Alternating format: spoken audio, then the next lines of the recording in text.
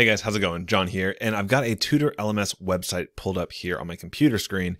And one of the things I love about Tutor LMS is you can get started for free and you can even sell your courses with WooCommerce for free right then and there, right? It's pretty awesome. But one of the challenges in Tutor LMS for the longest time has been that this course page was never really designed for conversions. It was never really um, that customizable. To customize how your courses looked was just a matter of filling in some box and you get what you're going to get. Well, all that's been changed very recently with the team, and I want to show you this new update that allows Tutor LMS and Elementor to be all interwoven like so. Let's go ahead and dive in. So before I show you the new hotness, this is still a very good looking um, course page, right? It gives you the title, who it's from, even shows you how many people are enrolled, when the course is updated, the duration of the course. Like it's got a lot of good stuff going for it. Um, but what if you want to do more, right? We are all very greedy people. We always want to do more.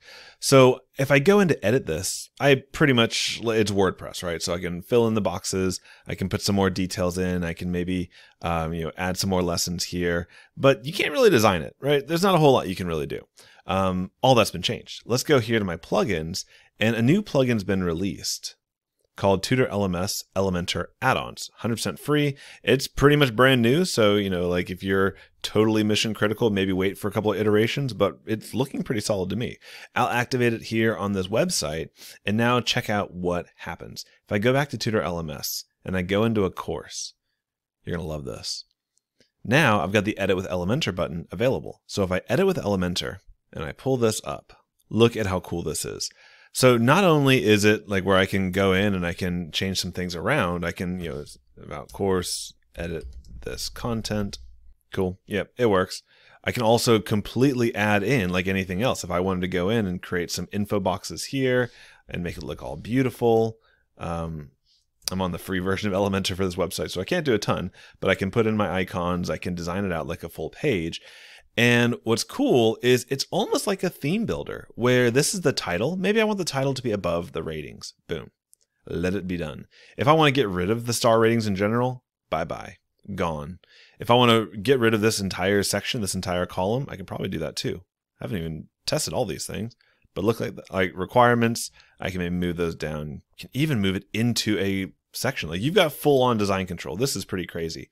The um the little video. Maybe I'll put the little video over here. Let's just have some fun with this. I'll move this section all the way to the top. Let's add a section above it. You've got complete design control here, guys. And it's kind of the best of both worlds because you could totally design this out how you want. Um, now this doesn't even make sense. Let's get rid of that.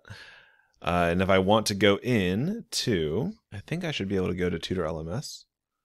Yeah, course reviews. I can add some reviews right here. I can, um, let me, if I type in tutor, I can just see the course. So it looks like the organization could kind of be helped a little bit because I'm not quite sure where to find everything I want.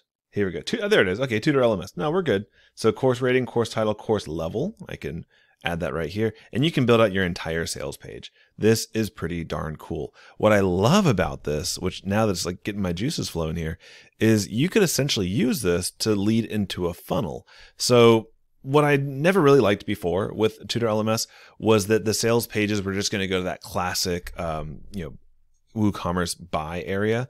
But now, check it out, y'all.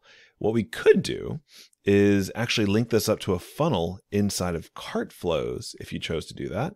So here's like the course enrollment box. I think this is going to, yeah, like view cart. Well, that stinks because it's just going to go to the, the cart and add it to your cart. And that's not very, that's not very fun. So what you could do here instead, let's have some fun here. I know this is still looking quite a little crazy, but we're working with it.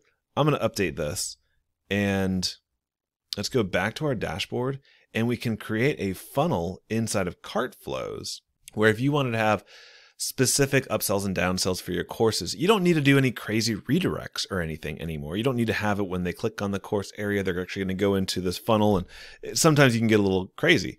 Here, I'm just going to add, let's start from scratch. Oh, I need to do that. I'm I'm on all my free versions right now on this uh, website, which is really limiting me. I'm not enjoying it.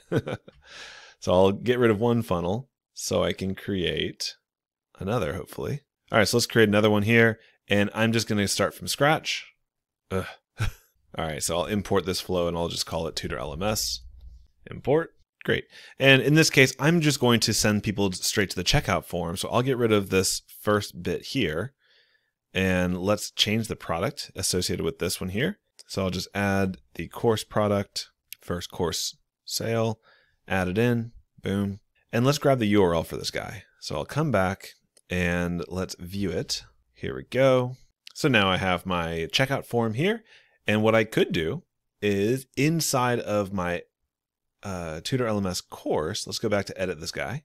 Let's say you want to build this out like a long sales page and you go in, you add all your designs. I can maybe even pull in some templates from some other template store here, make it look really, really good. Boom. Bring him down here. Let's add in like the call to action. Okay, let's pull in like a pricing table here. This will work for me. So, and let's go ahead and just get rid of two of these since we don't need all of them. Now for this button here, instead of going straight to that annoying WooCommerce uh, cart and all that stuff, I can paste in the link to my CartFlows checkout page. And if I view this course, now this is like the course page, right? So you can make it look however you want it to look, add in the data from the little wizard over there, but you can also go nuts with it and make a very beautiful landing page. And when they click buy, you can actually take them to your own checkout experience. No adding to cart and all the additional steps. You can you know adjust the uh, checkout fields, everything you need to do, and boom, you can have your upsells, your downsells, bring it all in.